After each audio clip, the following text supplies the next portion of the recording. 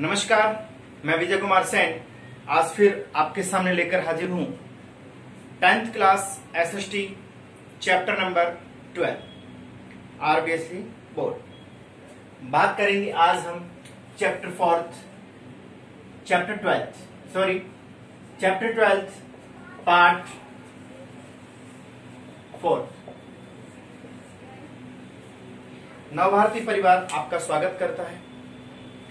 जैसा कि पिछले वीडियोस की सफलता के बाद आपके द्वारा दिए गए मोटिवेशन, आपके द्वारा दिए गए कमेंट्स आपके व्यूज़ आपके द्वारा सब्सक्राइब करके जो सहयोग दिया गया, उनसे मोटिवेशन बढ़ता है और उसी मोटिवेशन की फलस्वरूप आज मैं चैप्टर ट्वेल्थ का पार्ट फोर्थ लेकर आपके सामने हाजिर हूँ।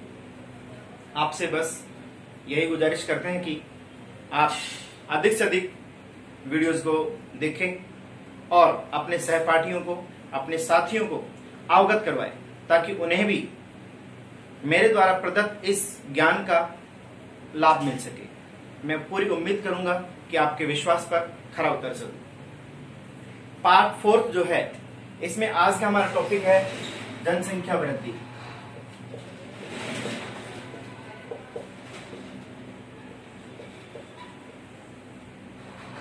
जनसंख्या वृद्धि। जनसंख्या वृद्धि जिसे हम इंग्लिश में कहते हैं पॉपुलेशन ग्रोथ पॉपुलेशन ग्रोथ जनसंख्या वृद्धि। सबसे पहले हम इसका अर्थ पढ़ेंगे कि जनसंख्या वृद्धि होती क्या है। जनसंख्या वृद्धि क्या अच्छी रहती है समाज के लिए? क्या जनसंख्या वृद्धि बुरी रहती है? जनसंख्या वृद्धि का प्रभाव क्या रहता है? आखिर जनसंख्या वृद्धि होती क्यों है? कारण क्या है? और हमारी सरकार ने उनके लिए क्या क्या प्रयास किए इन तमाम बातों पर आज हम चर्चा करेंगे। तो सबसे पहले हम जान बात करते हैं जनसंख्या वृद्धि के बारे में। देखो जनसंख्या वृद्धि क्या है? एग्ज़ाम में सीधा क्वेश्चन बनता है कि जनसंख्या वृद्धि किसे कहते हैं? तो जनसंख्या वृद्धि जो है, वो दो चीज़ों पर डिपेंड करती है। सबसे पहली बात, विशेष स्थान। पर्टिकुलर प्लेस पर्टिकुलर प्लेस विशेष स्थान और विशेष समय। विशेष स्थान में आप ले सकते हैं जयपुर, जोधपुर, राजस्थान, दिल्ली, भारत, कोई भी पर्टिकुलर एक स्थान, ठीक है? और विशेष समय में आप ले सकते हैं एक साल, पाँच साल, दस साल, ठीक है? तो विशेष स्थान और विशेष समय। विशेष स्थान और विशेष समय में किसी विशेष स्थान पर, एक निश्चित समय में, एक विशेष समय में होने वाले परिवर्तन को, होने वाले परिवर्तन को जनसंख्या वृद्धि कहते हैं। होने वाले परिवर्तन को जनसंख्या वृद्धि कहते हैं। ये जनसंख्या वृद्धि, ये परिवर्तन सकारात्मक भी हो सकता है और ये परिवर्तन नकारात्मक भी हो सकता है। ये परिवर्तन सकारात्मक भी हो सकता है और नकारात्मक भी हो सकता है। सकारात्मक और नकारात्मक मतलब क्या?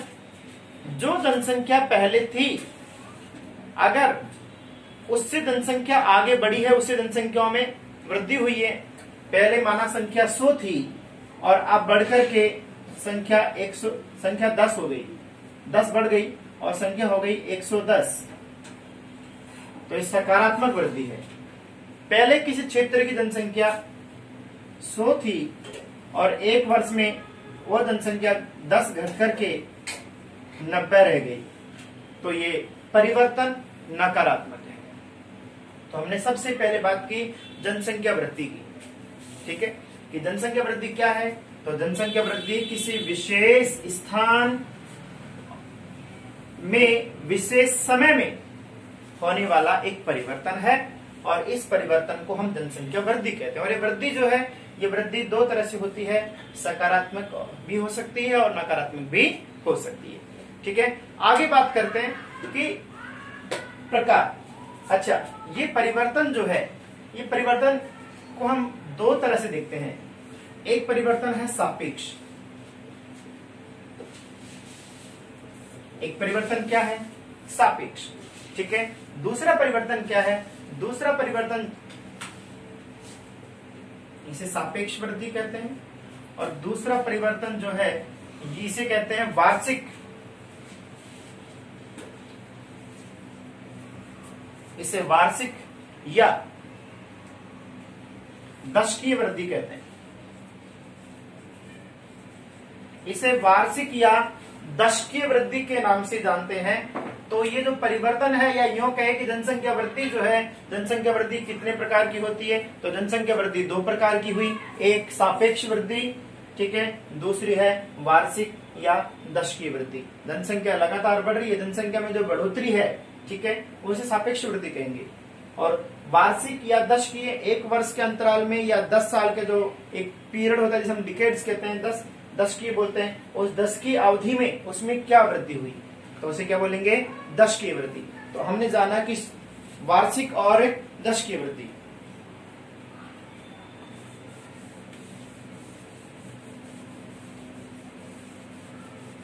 आगे बढ़ते हैं कि जनसंख्या वृद्धि जो है, इस जनसंख्या वृद्धि का कारण क्या है? ठीक है? अच्छा ये जनसंख्या जो वृद्धि है, इसमें एक बात और कि प्रत्येक हज़ार लोगों पर, प्रत्येक हज़ार लोगों पर, प्रत्येक एक हज़ार एवरी वन थाउज़ेंड ठीक है? प्रत्येक एक हज़ार लोगों पर, प्रति एक हज़ार लोगों पर होने वाला परिवर्तन है।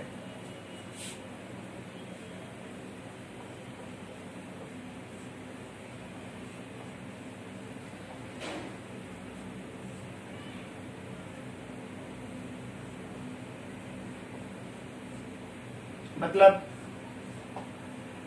वृद्धि दर का जो संबंध है, जनसंख्या सो है क्या? सॉरी प्रति सौ लोगों पर। प्रतिशत निकालते हैं। प्रतिशत निकालते हैं तो प्रतिशत जो है, वो प्रति एक हज़ार की जगह नहीं, सौ लोगों पर होने वाला परिवर्तन है। जहाँ पर भी प्रतिशत की बात करते हैं, ठीक है, जहाँ पर भी दर की बात करते हैं, दर, प्रतिशत जहाँ भी निकलेगा, वहाँ पर सौ लोगों को काउंट करेंगे, ठीक है? सौ लोगों पर होने वाला परिवर्तन। आगे है। इसका कारण क्या है? अब जनसंख्या वृद्धि जो है, जनसंख्या वृद्धि का कारण क्या है? अब हम बात करते हैं कि जनसंख्या जो ये वृद्धि है, इस जनसंख्या वृद्धि का कारण क्या है? आखिर ये जनसंख्या वृद्धि जो है, इसका कारण क्या है? तो इसके कारण को हमने तीन भागों में, कितने भागों में? तीन भागों में देखा है। नंबर एक। इसका जो पहला कारण जो पाया है, वो पहला कारण है जन्म दर।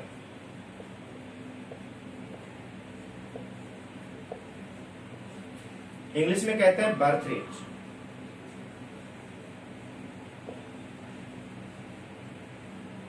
ठीक है? दूसरा जो इसका कारण है, वो है मृत्यु दर।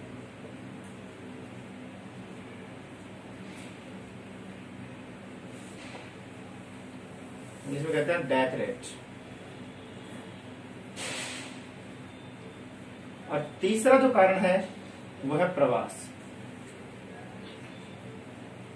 उसे कहता है माइग्रेट ठीक है? जन्म दर बर्थ रेट मृत्यु दर डेथ रेट और प्रवास माइग्रेट ये तीन कारण हमारे सामने निकल करके आते हैं कि जनसंख्या वृद्धि जो ये है, जनसंख्या वृद्धि की मैं जो बात कर रहा हूँ, ये जनसंख्या वृद्धि के तीन कारण है। तीन कारण कौन कौन से? सबसे पहला, जन्म दर, दूसरा, मृत्यु दर, और तीसरा, प्रवास। जन्म दर क्या है? जन्म दर क्या है तो आपको पता है कि पहली चीज़ तो हमारे भारत की जो है, वो जन्म दर भी क्या है? ज़्यादा है। मृत्यु दर की बात करें, बताओ, आप सोचो गैस करो कि मृत्यु दर ज़्यादा है या कम है। जिसके कारण जनसंख्या वृद्धि बढ़ती है, बताओ। जनसंख्या वृद्धि की बात कर रहा हूँ तो जनसंख्या मृत्यु दर जो, मृत्यु दर जो है, मृत्यु दर कम होनी चाहिए, ज़्यादा होनी चाहिए? आपके मन में आ रहा होगा, सर, वृद्धि की बात कर रहे हो तो यहाँ पर मृत्यु दर कम होनी चाहिए। लेकिन नहीं मृत्यु दर भी ज़्यादा है और ज़्यादा मृत्यु दर होना भी जनसंख्या वृद्धि का कारण है। है ना एक ट्विस्ट कि सर ज़्यादा मृत्यु दर से जनसंख्या घटेगी और घटेगी तो फिर जनसंख्या वृद्धि कैसी होगी? अभी बात करते हैं इस के ऊपर।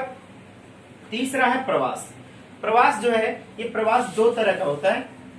एक तो है आंतरिक, जिसे कहते हैं इंटरनल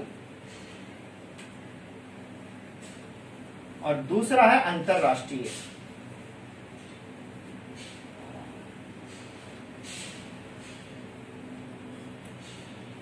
दूसरा कौन सा है?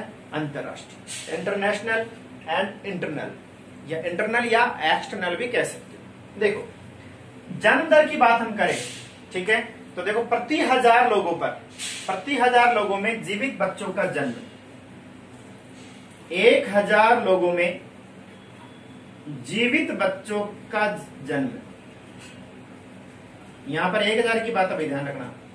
जीवित बच्चों का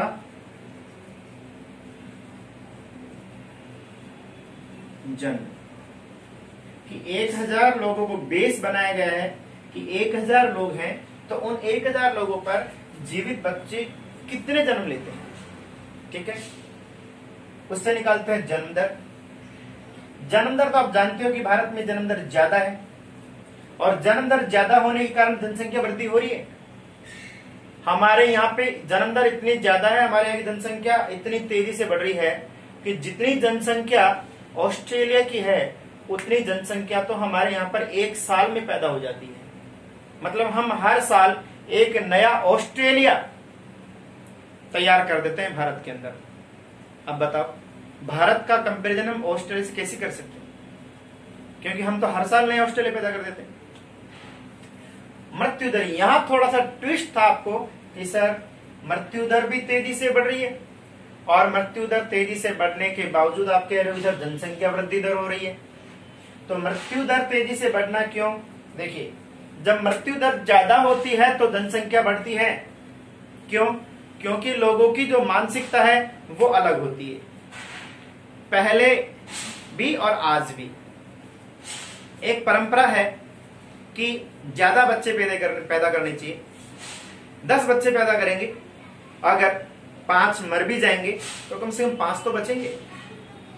और उन पाँच मरने वालों के चक्कर में लोगों को क्या डर है कि ज़्यादा बच्चे मरते हैं? लोगों को डर क्या है कि ज़्यादा बच्चे मरते हैं? तो उस मरने के डर के मारे जनसंख्या ज़्यादा पैदा कर रहे क्यों? मरते क्यों है? क्योंकि हमारे यहाँ का स्वास्थ्य का स्तर, हमारे यहाँ पर शिक्षा का स्तर, हमारे यहाँ पर सरकार के द्वारा किए गए प्रयास, हमारे यहाँ पर आर्थिक, सामाजिक, राजनीतिक माहौल, ये अलग है। सामाजिक परिवेश, वो सभी कारण है जो हमें ज़्यादा, जो हमें डराते हैं। और ये बताते हैं कि ज़्यादा बच्चे मरते हैं। और ज़्यादा बच्चे मरने के कारण, और मरते भी थे रियलिटी भी है। पहले की अगर मृत्यु दर की अगर हम बात करें तो मृत्यु दर बहुत ज़्यादा थी।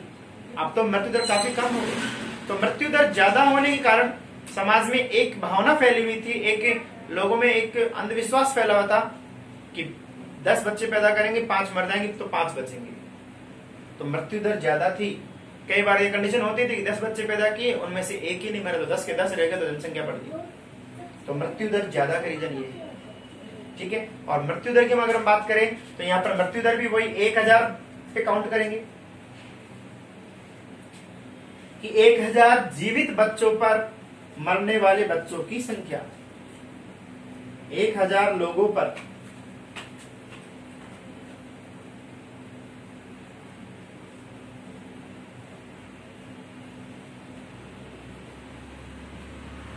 मरने वाले बच्चों की संख्या।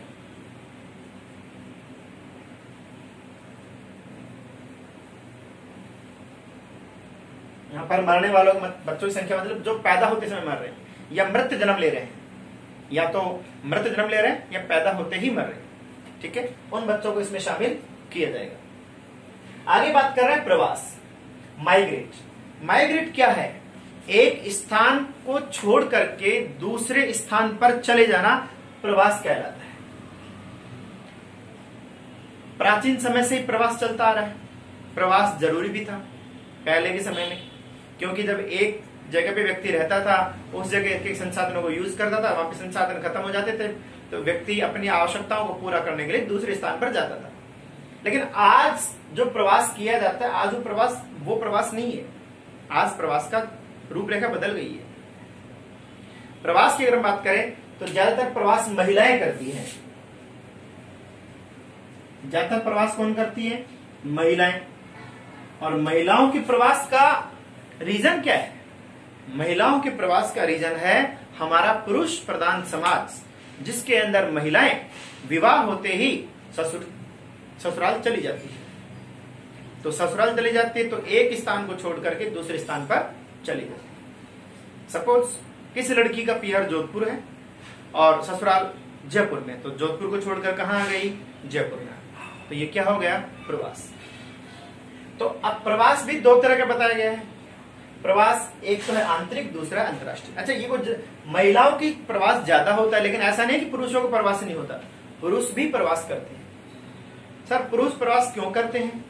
पुरुष इसलिए प्रवास करते हैं कि सबसे बड़ी समस्या है रोज़गार की समस्या। रोज़गार की समस्या के लिए मतलब रोज़गार की प्राप्ति के लिए, शिक्षा के लिए। विशेष तौर पर पुरुष वर्ग जो प्रवास करता है, वो दो कारण से करता है। सबसे प्रथम स्थान पर है रोज़गार और दूसरा है शिक्षा के लिए। ठीक है? तो ये रोज़गार और शिक्षा के लिए पुरुष भी प्रवास करता है। आगे हम बात करें कि प्रवास तो प्रवास दो तरह का है। माइग्रेशन दो प्रकार का है माइग्रेट दो तरह का है, आंतरिक और अंतरराष्ट्रीय। आंतरिक प्रवास का प्रभाव नहीं पड़ता। जोधपुर से महिला शादी होकर के जयपुर में आ गई। तो इससे जो राजस्थान जो है, राजस्थान में जयपुर और जोधपुर दोनों इंक्लूड है। ठीक है? तो राजस्थान का जनसंख्या वृद्धि दर जो है, उसमें प्रभाव नहीं पड़ेगा। यह हम बात करें, क्योंकि राजस्थान जोधपुर भी किसमें है? राजस्थान में है और जयपुर भी किसमें है?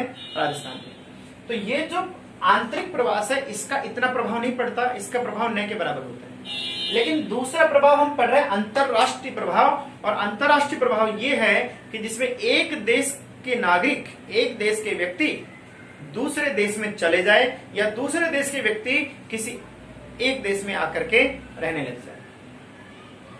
तो इसे कहते हैं प्रवास। तो प्रवास, जो अंतरराष्ट्रीय प्रवास है, इसका प्रभाव ज़्यादा दिखता है। आंतरिक प्रभाव आंतरिक प्रवास है, इसका प्रभाव नहीं होता। देखिए, आंतरिक प्रवास, ये गाँव, ठीक है?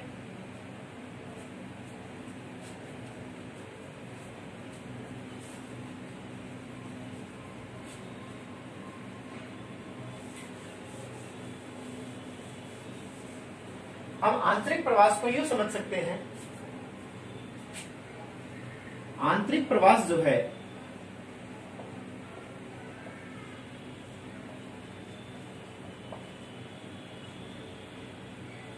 से गाँव से शहरों की ओर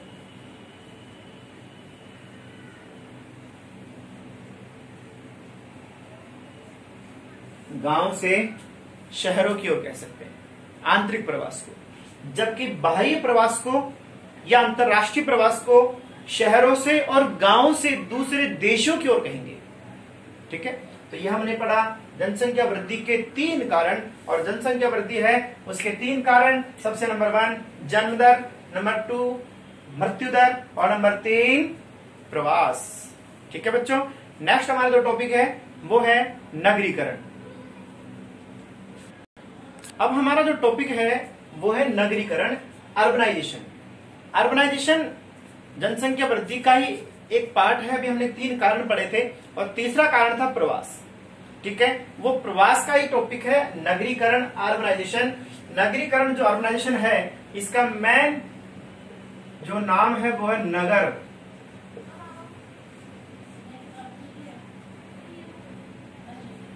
नगर की तरफ़ नगर की ओर। नगरीकरण का अगर मैं मीनिंग देखूँ तो अर्थ निकलेगा इसका नगर की ओर या शहरों की ओर बढ़ना। क्या कहलाता है? नगरीकरण। क्यों बढ़ते हैं? नगर की ओर मैंने अभी थोड़ी देर पहले बा, बात की थी दोबारा फिर से बात कर रहा हूँ कि हमारा भारत जो है वो 70 प्रतिशत जनसंख्या जो हमारे भारत की पॉपुलेशन है भारत की 70 प्रतिशत पॉपुलेशन 70 परसेंट पॉपुलेशन जो है, वो आज भी कहा निवास करती है? विलेजेस में। गाँव में निवास करती है। ठीक है? विलेजेस में निवास करती है, गाँव में निवास करती है, और इन 70 परसेंट जो पॉपुलेशन जो गाँव में निवास करती है, उनका आज भी जो वर्क है, वो क्या है? एग्रीकल्चर है। अधिकतर लोगों का आज भी गाँव के अंदर जो कमाई का इनकम का बिज़नेस का या फिर ऐसे कहे कि आजीविका का, रोजी रोटी का जो माध्यम है, जो ज़रिया है, वो है एग्रीकल्चर कृषि है। और कृषि जो है, ये कृषि मानसून का जुआ कहा जाता है। कृषि को मानसून का जुआ कहता है कि बारिश हो गई तो ठीक है खेती बाड़ी हो गई। बारिश नहीं हुई तो खेती बाड़ी नहीं होगी। तो कृषि को मानसून का जुआ कहा जाता है। ये मानसून पर टिकी हुई है।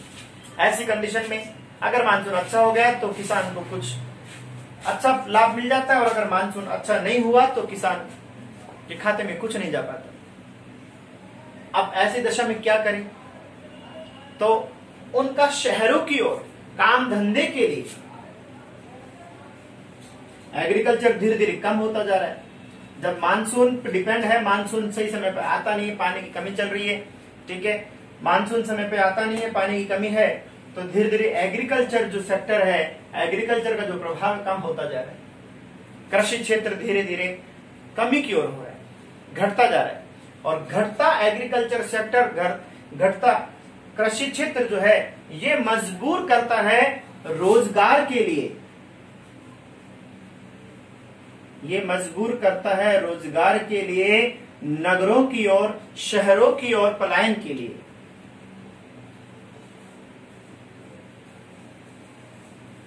नगरों की ओर, शहरों की ओर पलायन करने के लिए। जब काम धंधा नहीं होता, कृषि जो है, कृषि का क्षेत्र घट रहा है, कृषि मानसून पर डिपेंड है, और कोई चारा है नहीं तो ऐसी कंडीशन में शहरों की ओर बढ़ना एक लाजमी है। इससे शहरों पर क्या फ़र्क पड़ेगा? शहरों पर कोई प्रभाव पड़ेगा? तो हाँ बिल्कुल। शहरों की आबादी बढ़ रही है, शहरों की जनसंख्या बढ़ रही है। शहरों की जो पॉपुलेशन है, वो बढ़ रही है और गाँव की जो पॉपुलेशन है, वो घट रही है।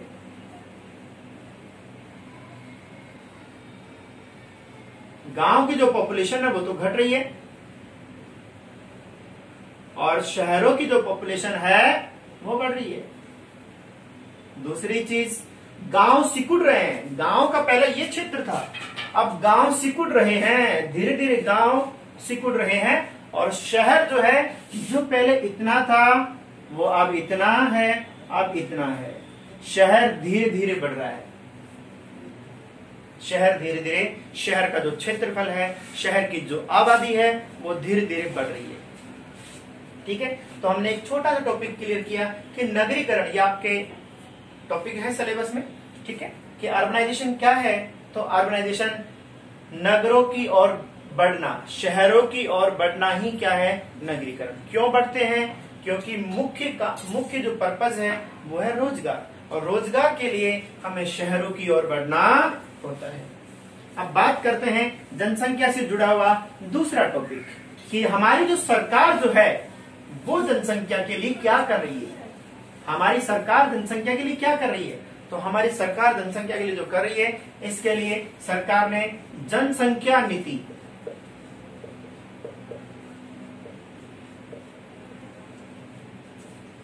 हमारी सरकार ने बढ़ती जनसंख्या को देखते हुए जनसंख्या नीति 2000 जारी की है। जनसंख्या नीति 2000 देखो 2000 क्या है? जिस साल में कोई पॉलिसी या कोई अधिनियम या कोई नियम पारित होता है, अक्सर उसको उसी नाम से जाना जाता है। तो पॉपुलेशन जो पॉलिसी है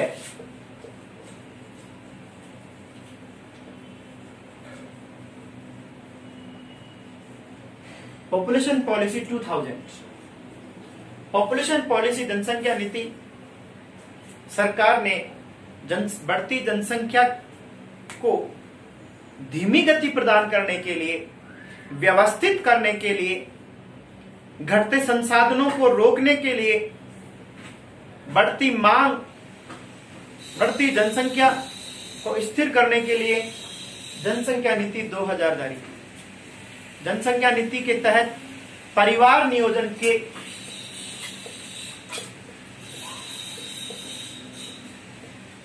परिवार कल्याण के या परिवार नियोजन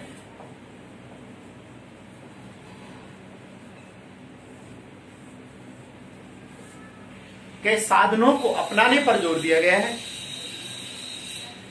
शिक्षा का स्तर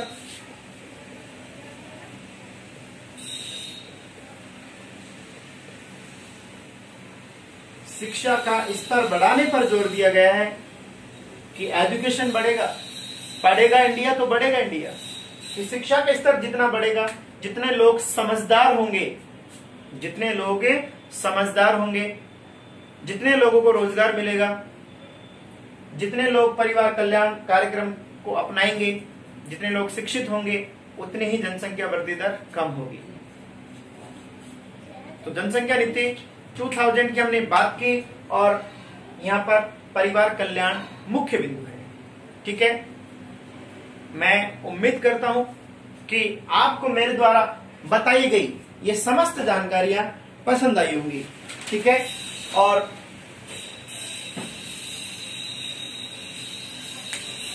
अगली कड़ी में फिर एक नए टॉपिक के साथ, फिर एक नए बिंदु के साथ फिर एक नई चर्चा के साथ फिर हाजिर होंगे इसी चैनल पे। तब तक के लिए नमस्कार। जय हिंद, जय भारत।